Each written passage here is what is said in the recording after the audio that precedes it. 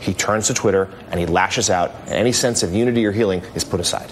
And, at least some of these tweets took place, by the way, on the way between the two sites. So he visited victims in one place while he was in the air on Air Force One. He starts tweeting about Joe Biden. We'll hear from Joe Biden. He made a speech yesterday uh, in the vein of what Jon Meacham was talking about, more of a conciliatory, healing speech.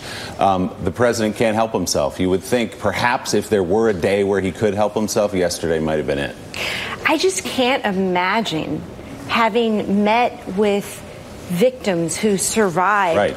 a traumatic mass shooting and seeing these victims recovering in a hospital and then the first thing that you start to do is lash out at the media, lash out at political opposition, and remove yourself from the sanctity of witnessing and grieving this incredible loss. It is just unimaginable to me how broken you have to be as a human being that this is your first response heading to El Paso where such a massacre just occurred and the Hispanic community in particular feels like they have a target on their back because they did in that El Paso Walmart.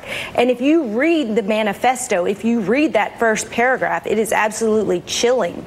And Donald Trump is completely incapable of doing anything that's not about himself. We know that. We should just accept it. But I think this is a moment that we're looking to other leaders to lead. And so good for Joe Biden with his speech yesterday. Good for Beto O'Rourke. Good for Cory Booker with his amazing speech.